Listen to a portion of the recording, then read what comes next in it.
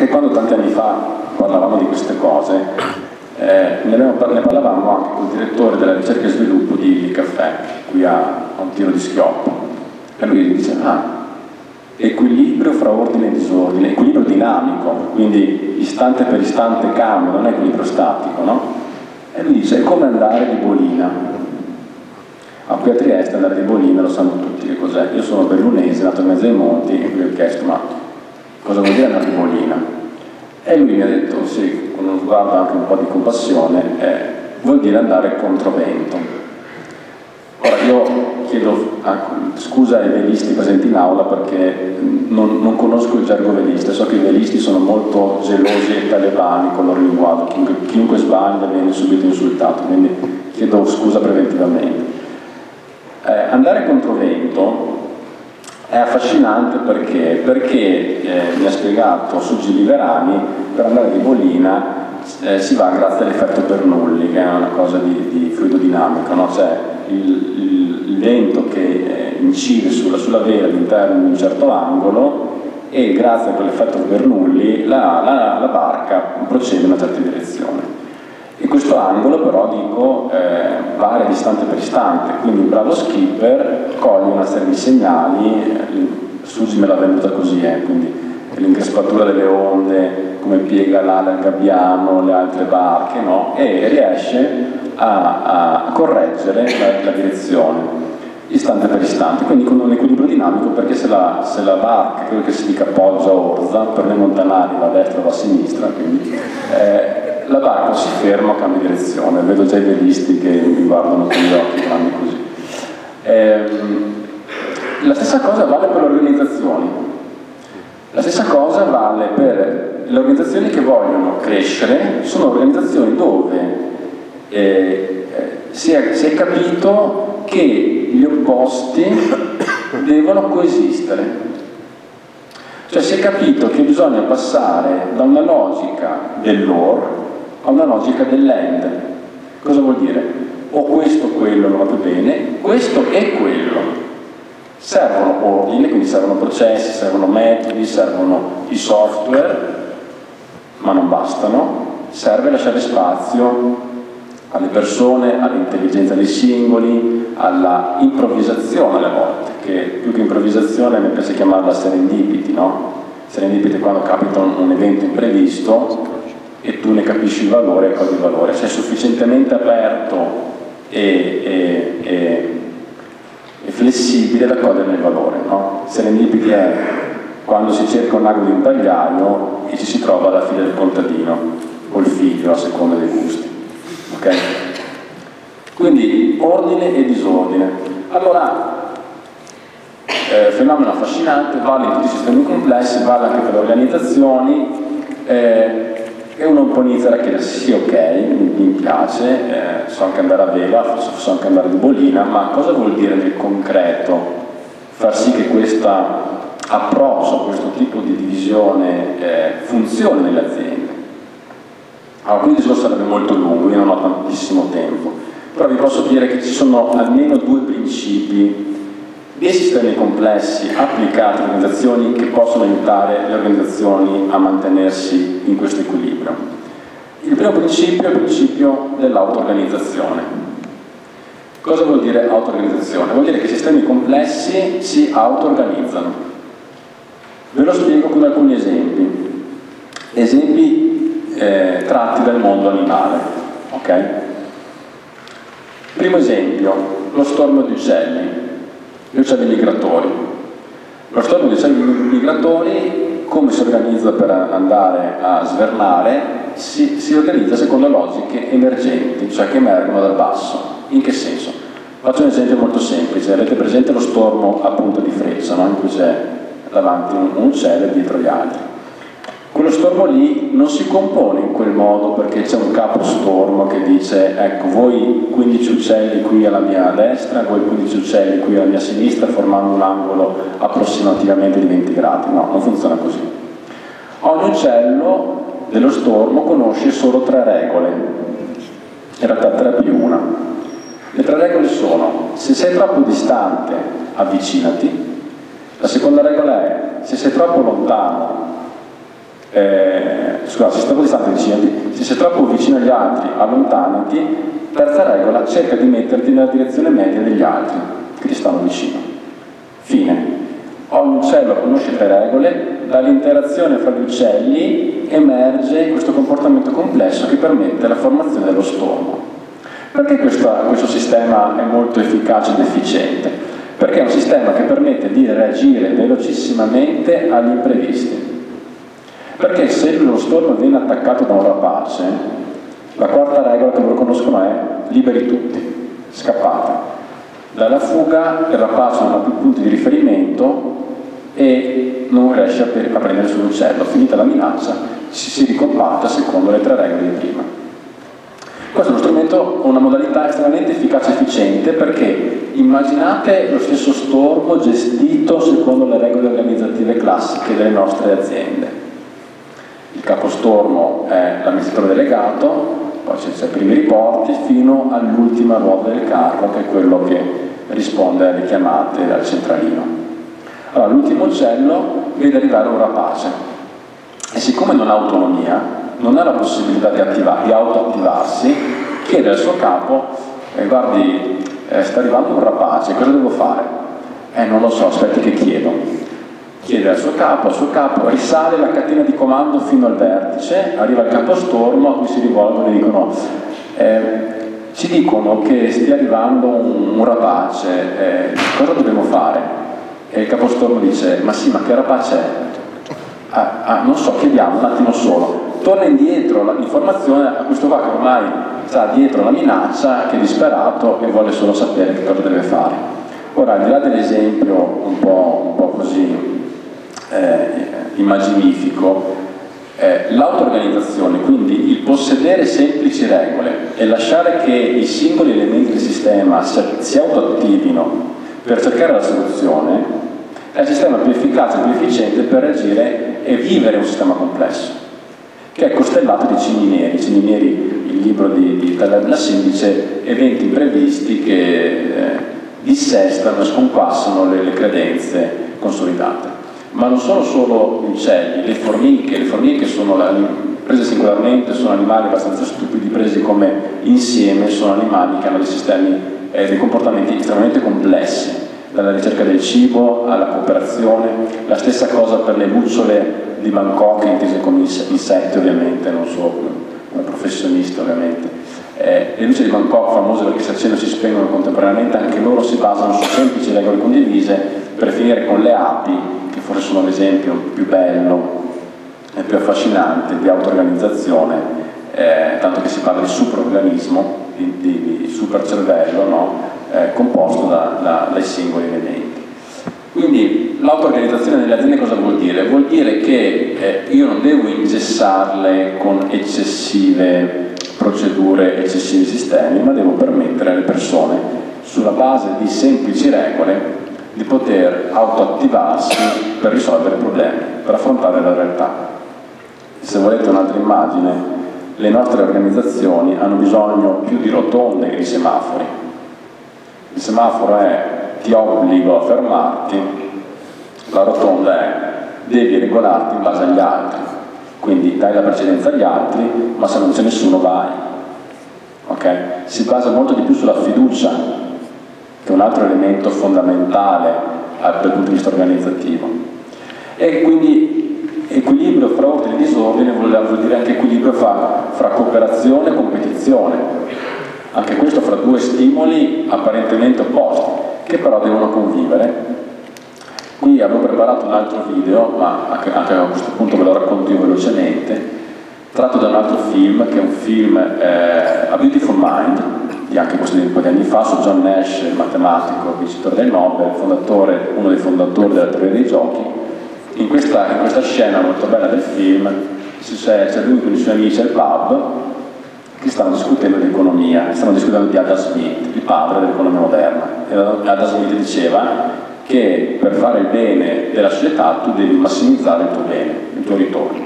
Cioè tanto più massimizzi tu il tuo ritorno, tanto meglio fai per la società. In quel momento entrano nel pub un gruppo di ragazze, c'è una ragazza eh, molto carina, bionda, e le sue amiche simpatiche dietro. No? e tutti guardano la ragazza bionda e tutti vogliono provarci con la ragazza bionda. A quel punto John Nash dice sì, però se noi ci proviamo tutti con la bionda, la bionda ci rimbalza tutti, poi noi ci proviamo con le sue amiche e le sue amiche si mandano via perché sono offese. Mentre se noi andiamo direttamente dalle amiche, le amiche si sentiranno eh, dire, corteggiate e apprezzate e alla fine tutti otterremo il risultato. Quindi al di là dell'esempio un po' sessista, mi rendo conto, il concetto che Nash ha sviluppato è quello di dire tu devi pensare al bene per te e per gli altri, cioè a massimizzare il bene per te e per gli altri, quindi a cooperare nella competizione, che sembra un ossimoro, ma in realtà è un concetto molto vero e molto pratico anche. Eh, se non pensiamo a questo, a questo meccanismo, più che meccanismo, a, questa, a questo approccio, a questa attitudine a cooperare e competere, non riusciamo a mantenerci in quell'equilibrio dinamico. Secondo principio, primo principio l'auto-organizzazione, il secondo principio è quello ologrammatico. Questo è un, è un, è un cavolo romano. Cavolo romano che è di fatto un frattale. Prima sentivo parlare di frattali, no? Eh, I sistemi complessi sono dei frattali alla fine, cioè ciascun elemento del sistema racchiude il sistema intero se io zoom sul, sul cavolo, ogni pezzetto del cavolo riproduce il cavolo intero. Dal punto di vista organizzativo cosa vuol dire? Vuol dire che io devo immaginare che ogni nodo del mio sistema, che detto in termini più pratici vuol dire ogni persona dell'organizzazione, ogni unità organizzativa, deve rappresentare l'interesse del sistema stesso perché il principio ologrammatico mi dice che la parte nel tutto è il tutto nella parte. In parole povere che cosa vuol dire? Vuol dire che non è sufficiente eh, retribuire le persone, non è sufficiente assegnargli delle mansioni, non è sufficiente incentivarle economicamente con dei premi, eccetera ma bisogna lavorare su che cosa? Sulla condivisione. Il principio grammatico vuol dire che ogni nodo dell'organizzazione deve rappresentare l'intera organizzazione in che modo? Condividendo che cosa? Condividendo, primo aspetto, i valori. I valori, voi dite? Sì, i valori. Dal punto di vista organizzativo la condivisione dei valori è un aspetto fondamentale, ma non è un aspetto fondamentale perché dobbiamo immaginarci la valle degli orti o il mulino bianco, è un aspetto fondamentale dal punto di vista pratico opportunistico. I valori, sapete, lo sappiamo, orientano i nostri comportamenti. Un mio valore personale è la puntualità, io quando sono in ritardo mi sento male e quindi il mio comportamento è quello di partire sempre 20 minuti prima del necessario perché sennò mi risale l'ansia. Quindi se io in una organizzazione condivido dei valori, vuol dire che le mie persone, i miei collaboratori, le persone che lavorano con me, orienteranno naturalmente i loro comportamenti in maniera coerente. E quindi io non dovrò scrivergli un biglietto da appiccicare al muro, siete pregati di non buttare le carte per terra, perché se loro condividono con me il valore del rispetto dell'ambiente, loro da sole butteranno quelle carte nel cestino, altrimenti quando io infrango un mio valore mi crea un disagio. E quindi sono io il primo ad orientarmi correttamente, perché altrimenti creerei un disagio a me stesso. Quindi il primo aspetto, condivisione dei valori, che non è un esercizio così eh, di, di, di, eh, accademico, teorico, Seconda, seconda condivisione della strategia, della visione. Ora, la, che cos'è la strategia? Eh, se aveste letto un libro di strategia dieci anni fa, vi descrivono la, la strategia come un piano, una sequenza di azioni con un obiettivo. Ecco, la strategia non è questo, non può essere questo per i motivi che dicevo prima. I sistemi complessi sono imprevedibili e quindi io non posso pianificare, non posso prevedere. La strategia oggi è una chiave di lettura della realtà, cioè è il modo con cui l'organizzazione interpreta la realtà esterna. E questa chiave di lettura deve essere condivisa dal punto di vista organizzativo, altrimenti rischiamo di dare significati diversi alla realtà.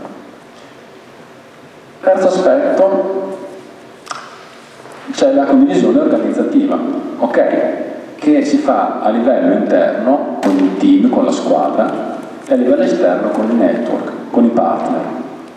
Cosa vuol dire con i partner? Vuol dire che ogni organizzazione non è un'isola, è inserita in un ecosistema di altre organizzazioni e oggi la concorrenza non si batte, non è una questione di concorrenza fra prodotti o fra aziende, è una concorrenza fra ecosistemi. E quindi se io non eh, rafforzo e costruisco il mio ecosistema, rischio di perdere la battaglia alla concorrenza. Vado a concludere. Quindi abbiamo detto, le organizzazioni sono sistemi complessi, per loro natura e per potersi sviluppare devono stare tra ordine e disordine, sull'orlo del caos. Per poterlo fare devono sapersi dare sistemi di auto-organizzazione che favoriscono un'intelligenza distribuita e non un'intelligenza accentrata, perché con l'intelligenza distribuita io sono più reattivo e flessibile agli imprevisti. Secondo aspetto, devono condividere valori, strategia e organizzazione.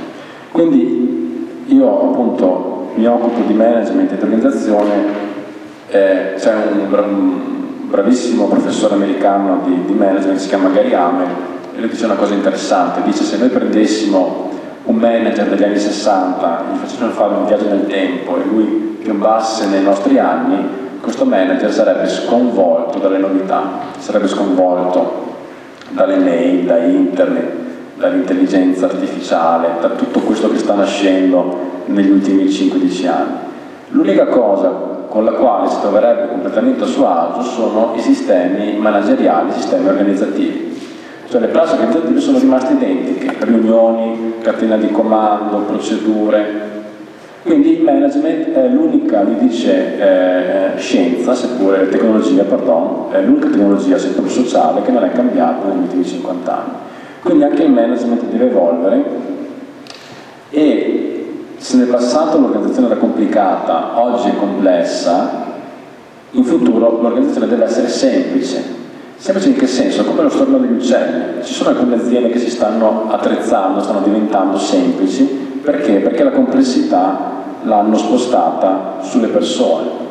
Non nel complessificare l'organizzazione, ma nel rendere le persone più capaci di affrontare la complessità, con nuove competenze, con nuove capacità. La leadership nella, uh, nel passato la leader era il comandante, no? seguitemi.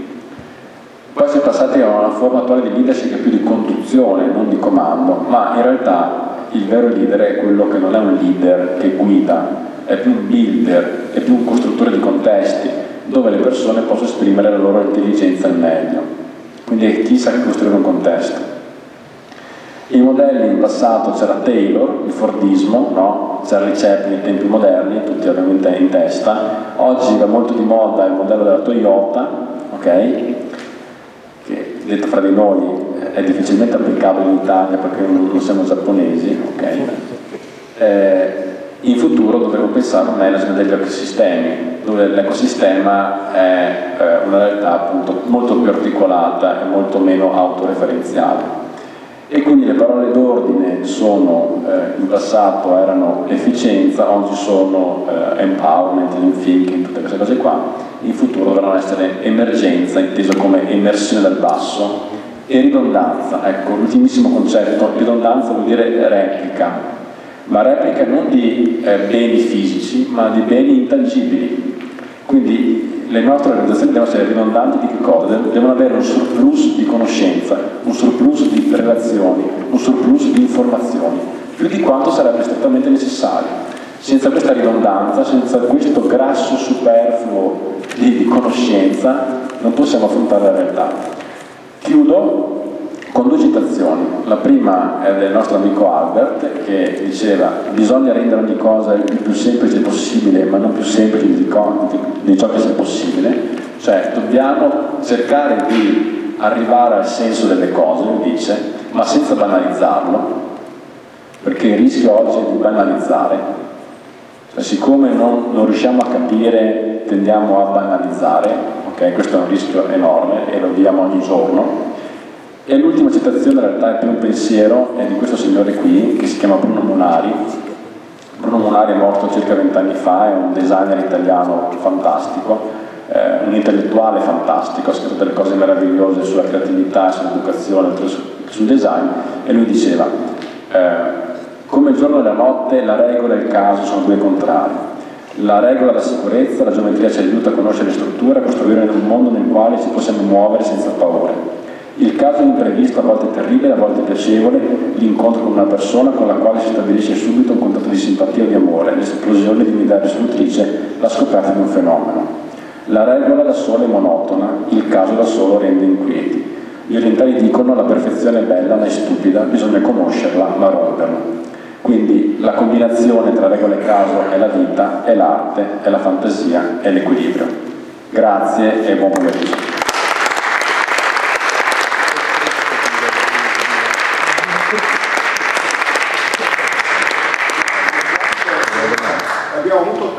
Tanti io, io devo fare la mia il capostoro. Il capostoro. No, volevo dire che, che, che questo è, è, il, è, il, terzo concetto che dobbiamo mettere nella nuova visione del mondo in biologia e medicina. Epigenetica, fisica quantistica e teoria della complessità. La prima cosa, cioè questa è la, la caratteristica della vita è la plasticità, capacità di adattarsi. E, e tra l'altro è molto interessante come eh, ritroviamo continuamente i fenomeni frattalici. L'ultima cosa è questa storia dell'acqua che è frattale a tutti, a tutti i livelli, i conti tornano, ma capite che, che l'idea della molecola unica, che, che, che l'idea meccanicistica in medicina c'è qualcosa che non va, c'è qualcosa che non funziona. Cioè colpire il recettore colpire il recettore è unico, può funzionare giustamente nelle malattie acute nell'antibiotico, ma in terapie complesse come le malattie croniche o degenerative, una terapia deve essere una terapia della complessità, un approccio veramente da tanti punti. Perché? Perché l'organismo se ha certe regole si adatterà in un modo nuovo per portare avanti quell'impulso là, se non si interviene Scusate, volevo dire solo questa cosa qua. Prego. No, no, una cosa... E però devi... Ah sì. Vabbè, dai. No, diciamo un po' una battuta, una provocazione, nel senso che sembra, guardando diciamo, questa cosa, il management del futuro... Girati, girati e, e, perché tanto bisogna interpretare il labiale. Eh, non è accettato. Ok, sembra che il management del futuro si stia ispirando dal punto di vista filosofico all'anarchia Vuoi commentare questa, questa provocazione? Anarchia in senso filosofico, no? sì, non nel senso che, viene normalmente detta ogni giorno. Insomma. Non quelli del mondo, non, non quelli del sì, sì. Beh, diciamo che preferisco parlare di auto-organizzazione, eh, che, che, è ancora più di, eh, che, che, è un livello ulteriore anche all'autogestione, ok? Eh, l'autogestione che facevo io al liceo era in realtà un, una forma mascherata di non fare lezione. Eh, l'auto-organizzazione è un po' la differenza che c'è tra collaborare e cooperare. Eh, collaborare vuol dire lavorare assieme, però lavorare assieme eh, non ha l'idea in sé di che cosa? Di cooperare, cioè di fare un'opera assieme, avere un obiettivo assieme.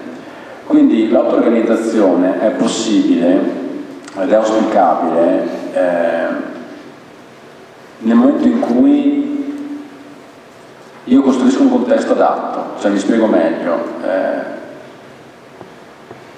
ci sono stati alcuni fallimenti clamorosi negli ultimi anni di aziende che hanno spinto sull'auto-organizzazione, pensando che bastasse dare libertà cose magicamente funzionassero meglio.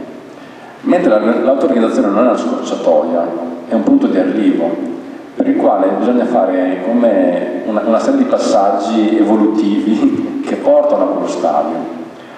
In realtà l'auto-organizzazione implica un'assunzione di responsabilità diffusa che eh, le nostre organizzazioni non hanno mai avuto. Perché vuol dire che io, l'esempio più bello, eh, lo dico in un 30 secondi se mi consentite, è quello della staffetta, la staffetta 4%. La staffetta 4% è un ottimo esempio di cooperazione. Perché? Perché parte uno staffettista, si mette l'anima, corre come un dannato, poi quando arriva agli 80 metri, 90 metri, cosa fa? Urla. No? Avete visto che urla? Perché urla? Perché avvisa quello dopo che deve partire. Però non ci avevo mai pensato, me l'hanno fatto notare, urlando lo staffettista spreca fiato. Cioè utilizza il fiato per urlare e non per correre più veloce. Quindi lui penalizza la sua prestazione, corre più lento, ma è disposto a correre più lento perché sa che alla fine il beneficio globale sarà maggiore, piuttosto che arrivare in bomba e lanciare il testimone in testa a quello che arriva dopo, che è quello che tipicamente si fa nelle organizzazioni. Io penso al mio perimetro, al mio orticello da A a B, quello che avviene prima, quello che avviene dopo non è affar mio. In che senso quindi bisogna auto-organizzarsi? L'auto-organizzazione comporta la rinuncia, cioè comporta il pagamento di un costo di aggiustamento. Cioè io rinuncio a un po' del mio ritorno in virtù di un ritorno più ampio. È un costo, quindi non è un passaggio semplice, non è via liberi tutti, non è facciamo un po' quello che ci pare e piace, è condividere alcune regole e essere disposti a pagare ciascuno di noi un costo di aggiustamento. Quindi in quel senso se il management riesce a introdurre questo tipo di contesto allora l'autorizzazione funziona, altrimenti rischia di avere una deriva eh, caotica. E l'anarchia è il cancro d'altra parte, mentre ci deve essere l'anarchia intesa come l'anarchia nel linguaggio comune è diversa dall'anarchia in senso filosofico però. No, no, ma non filosofico, cioè, il linguaggio comune. Cioè, il, il punto non, che... L'anarchia è caos, ma in senso filosofico non è così. No, no, d'accordo. Io la metto, la metto nell'altro senso, nel ecco, senso di, non, non... di caos. E, no, l'intenzione comune è importante, cioè la, la libertà del singolo ma con, con un unico orientamento, eh, questo qua. Questo penso sia, sì, esatto. sia il discorso dell'organismo. Nell'organizzazione il potere è moltiplicato paradossalmente, non è, non è assente, è moltiplicato. Sì, sì, beh, come l'anarchia filosofica e auto-organizzazione la possiamo anche vedere nell'altro senso. Bene, ci sono... Ah, scusa, poi, poi una. Sì, certo. Soltanto fare un richiamo storico che mi è sempre piaciuto. Dunque, non ricordo esattamente, però l'idea originale caos, il caos, del caos parlava l'antico greco, mi pare Democrito, il quale sosteneva che all'inizio di tutto il mondo ci, ci fosse soltanto caos. Poi venne, mi sembra, credo, Sant'Agostino, il quale dice no, no, no, no, no, all'inizio del mondo c'era logos. Qualche anno dopo arrivò Goethe e Goethe introdusse il concetto di azione. E disse no, c'è una grandezza che si chiama azione che fa andare d'accordo caos e logos, che regola un loro equilibrio, principio della minimazione. Intanto complimenti al professor De Bona per la triste fine che ha fatto fare all'ingegnere che in lui.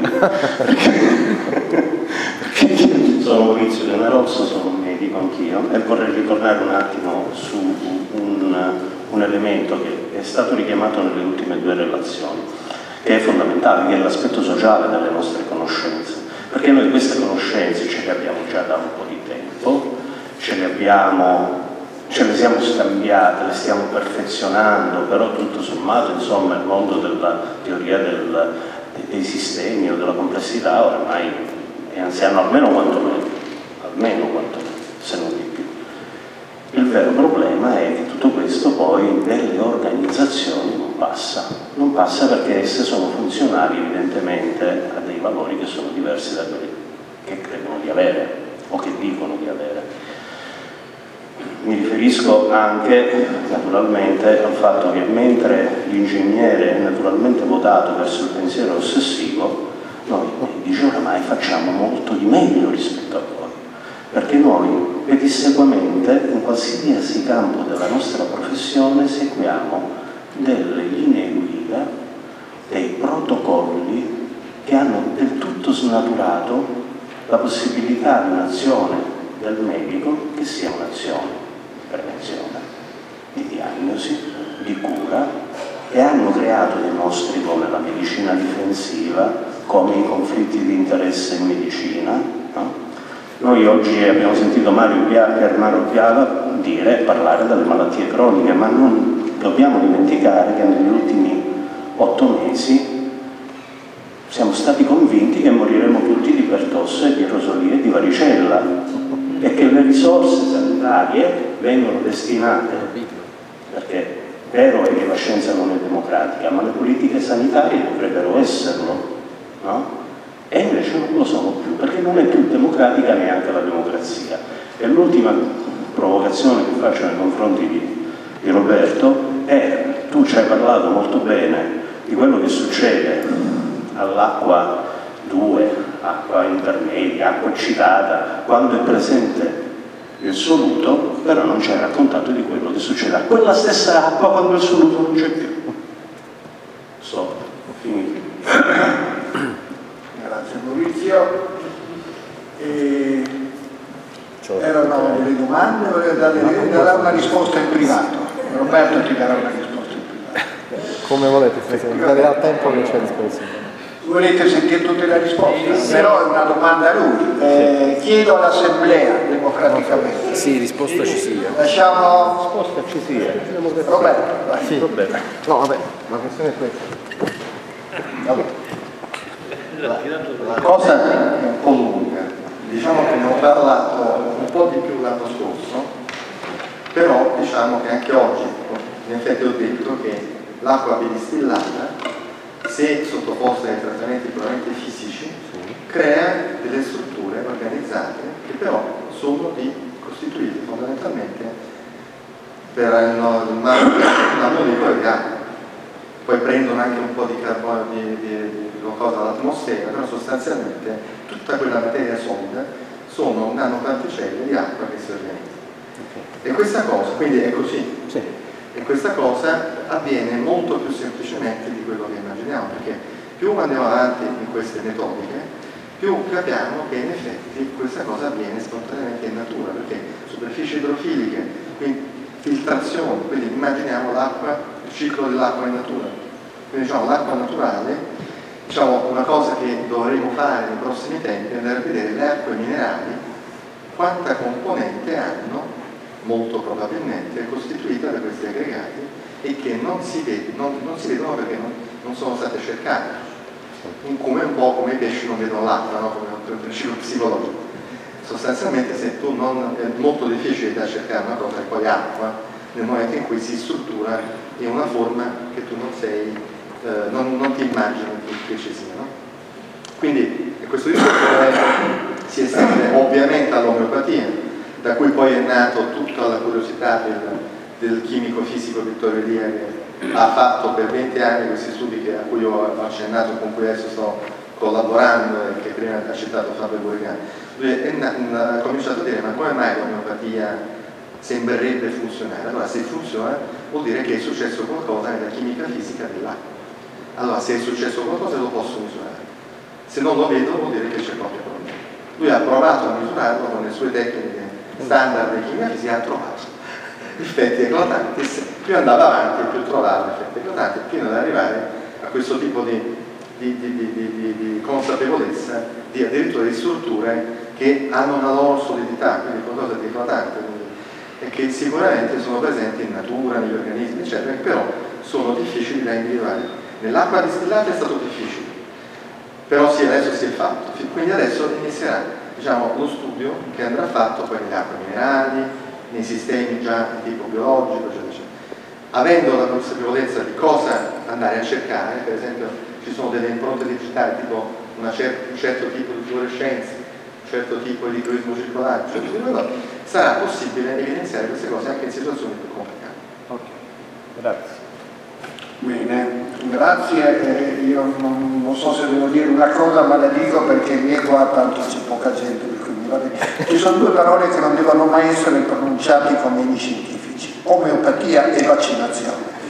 Le abbiamo dette. Le abbiamo dette. Al di là. Bene, eh, allora adesso lascerò la parola al professor Salucci, che cui mi scuso perché ho fatto una gaffa terribile. Paolo, dove sei? Dove sei? Dove sei? Perché dovevi essere prima, però la colpa è del tuo amico Verdegnassi, eh?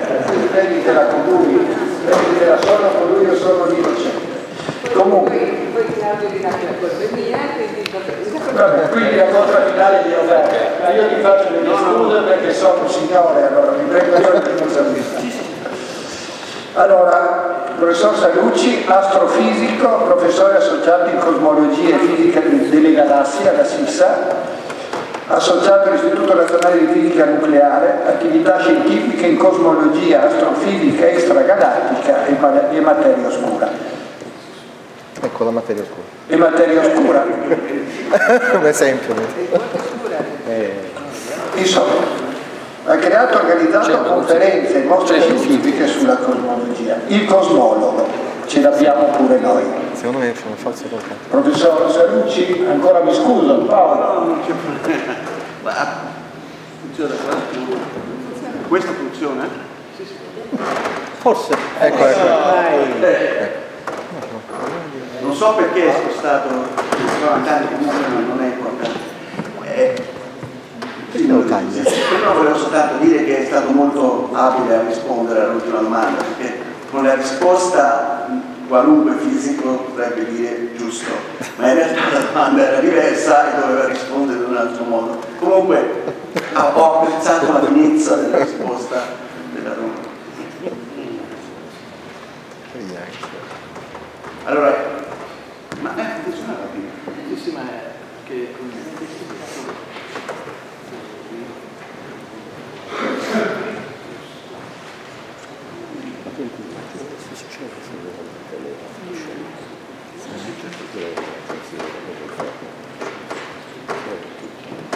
Cosa stanno facendo? Stanno prevedendo.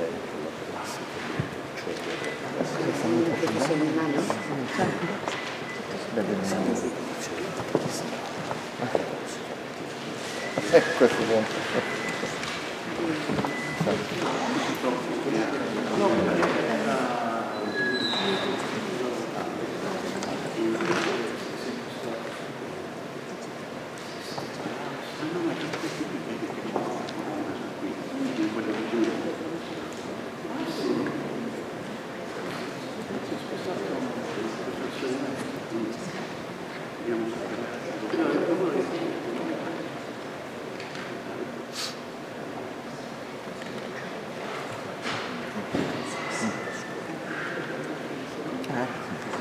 Sì, perché sono sono due vertici, adesso facciamo una capita. Mi sembra sia importante che sostituisci di causa. Perché non c'è uscire di personale, non si può essere sostituito. Eh, si capito? Quindi una cosa di cascata, filtrazione, superficie, cioè, l'acqua sono specialista della cosa. Sono, sono sicuro che le acque minerali sono tante di queste cose perché no, no, quando le caratterizzano non proprio la definizione cioè non fare Allora, innanzitutto ringrazio gli organizzatori per questo, penso che questo sia un pochino lontano dagli aspetti discussi finora, interessantissimi aspetti, però alla fin fine cercheremo di vedere se ci sono qualche diciamo, punti di contatto tra eh, le idee fondamentali discusse in questi giorni, cioè oggi saranno discusse domani, e la mia relazione. La mia relazione è sull'equilibrio dell'universo, cioè l'universo nella sua interezza procede attraverso appunto l'equilibrio, forse addirittura attraverso un equilibrio dinamico tra distruzione e creazione, come sembra che le varie aziende dovrebbero diciamo, muoversi. Comunque, il concetto fondamentale è che nell'universo è considerato tutto quello che ci circonde, circonda e avrà alcuni aspetti simili, ma alcuni aspetti anche piuttosto opposti agli aspetti appunto eh, viventi. Allora, noi partiamo dalla Terra e la Terra è un ecosistema, tra l'altro il colore blu viene proprio dall'acqua, quindi se, pianeta blu nel sistema solare ed è il pianeta dove diciamo noi siamo nati, no? dove noi evol evolviamo. Questo è importante perché già la prospettiva, eh, la nostra prospettiva e l'universo non è sempre stata quella che crediamo noi oggi. Nel passato il nostro ruolo nell'universo era ritenuto ben diverso e diciamo sia dal punto di vista filosofico ma sia anche dal punto di vista più fisico. Noi siamo persone ed è forse la, il motivo per cui ci siamo evoluti curiose cioè l'umanità è curiosa, è stata curiosa forse quando è scesa dagli alberi, poi è stata curiosa quando ha fondato le città, quando si è messa a diciamo, coltivare eh, specie differenti e quando via via via via ha guardato le stelle e quello che c'era dietro le stelle. Questo è il Lab Telescope che è uno degli strumenti di rilevazione dell'universo più potenti che abbiamo oggi e che è in, praticamente in, nello spazio e ruota intorno alla Terra. Ma anche sulla Terra abbiamo altri strumenti che questi sono radiotelescopi in un deserto di Atacama, tra l'altro, e si tratta appunto di oggetti di 10-20 metri di diametro e alla fine eh, si creerà un super radiotelescopio e questo sarà in Sudafrica dove ci saranno la bellezza di mille di queste antenne. Poi guardiamo anche il cielo, anche non, non nel radio ma anche in tutte le altre lunghezze d'onda, tra cui appunto l'ottico e qui siamo in, in Arizona dove in un preciso monte eh, dove effettivamente la, la, visuale, se così si può dire, è molto meglio rispetto a tutte le altre perché la temperatura dell'aria è particolarmente secca e si sono costruiti un numero molto ampio di diversi telescopi normali. Uno di questi è un, il diametro può andare dai 4 metri ai 10 metri. Allora, qui invece cominciamo subito a vedere eh, un concetto diciamo, fondamentale, cioè la Terra. Quello che voi vedete sulla sinistra è la visione della Terra da Saturno attraverso una sonda Cassini. Quindi voi potete vedere le bellissime immagini di Saturno e naturalmente il suo disco, ognuno di questi, come vedete, è il prodotto della gravità. La gravità è una delle, for delle forze più complesse che ci sono nella natura e che è capace di produrre effettivamente delle, delle strutture bellissime, oltre che naturalmente interessanti dal punto di vista dell'evoluzione dell'universo. Però qui vedete proprio il centro, quasi, spero che riuscite a vedere, la Terra. La Terra viene vista anche un altro, da un altro punto di vista, per esempio questo è da Mercurio, che sono circa, 60, circa 100 milioni di chilometri lontana da noi e qui vediamo la Terra e la Luna, così, nello spazio vuoto. Ecco, quindi questo deve essere già un discorso che magari non è così diciamo, evidente della, del fatto che la civiltà umana no, è un praticamente un qualcosa che sta su un granellino dello spazio e qui, e qui non siamo neanche lontani eh, nella galassia, qui siamo semplicemente nella, nel nostro sistema solare, nel nostro pianeta, uno dei nostri pianeti più vicini che è Venere. Questo fa già un po' pensare no, il fatto dell'auto-organizzazione no, del fatto che una essere, un essere diciamo, vivente e senziente sia riuscito no, a farsi un selfie da appunto un milioni, milioni, milioni di distanza. Eh, allora, la prima cosa più importante importante è quando abbiamo detto l'equilibrio. Allora, tutti, quasi tutti eh, l'universo, tutte le strutture dell'universo si evolvono e sono, diciamo, stabili perché c'è un equilibrio. Mettiamo il Sole, questa è un'immagine del Sole. Nel Sole abbiamo l'equilibrio tra la forza gravitazionale che è molto grande sul Sole perché il Sole è massiccio e quindi attrarrebbe verso il centro con enorme forza, però la velocità degli atomi data da, da una specie di pressione, addirittura la radiazione stessa ha una sua pressione e quindi la variazione della pressione bilancia perfettamente, quasi perfettamente, il, la forza gravitazionale. Potete vedere invece che in alcuni aspetti, in alcune parti del Sole questo non avviene, allora ci sono i cosiddetti brillamenti solari e questa è materia che viene espulsa dal Sole semplicemente perché in questa zona no, ci sono forti campi magnetici o altri discorsi o altre forze che sbilanciano la forza di gravità e quindi questa parte della materia viene lanciata nello spazio interplanetario. Però a livello zero esiste l'equilibrio. L'evoluzione porta il disequilibrio. Qui vediamo, questo qui è Saturno e potete vedere che al centro di Saturno, nel polo nord, esiste questo bellissimo esagono. Allora la domanda è che cos'è questo esagono? Eh? La spiegazione di questo esagono si può vedere nel triangolo delle Bermude.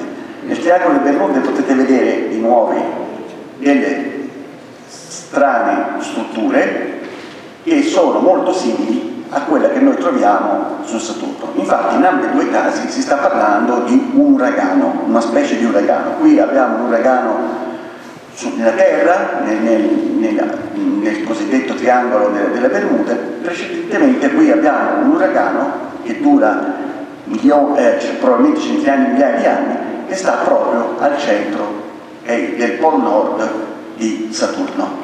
Quindi vediamo cose molto lontane una dall'altra che però hanno una certa strutturazione. Quindi sembra che la strutturazione eh, o la possibilità di creazione di certe strutture sia indipendente da dove avvengono, quando avvengono e in che modo avvengono. Sembrano subire appunto delle regole fondamentali e fonda come parecchi filosofi dicono che la natura parla attraverso la matematica, no? questo potrebbe essere un modo con cui noi possiamo supportare questo punto di vista. Di nuovo avevo già detto prima come il concetto tra equilibrio e non equilibrio, questa è Encelados, cioè questa è una luna di Saturno, potete vedere che è completamente ghiacciata, però all'interno esiste specie, esistono ancora delle faglie con magma e quindi esiste all'interno del calore e quindi quando ci sono delle fratture sulla superficie l'acqua viene, buttata, viene espulsa nello spazio interplanetario. Quindi questi sono soffioni di acqua, ognuno di questi è, può essere alto circa diverse decine di migliaia di chilometri che vengono create no, dalla, dal fatto che c'è la pressione, in questo caso la pressione interna, non è controbilanciata rispetto alla gravità e quindi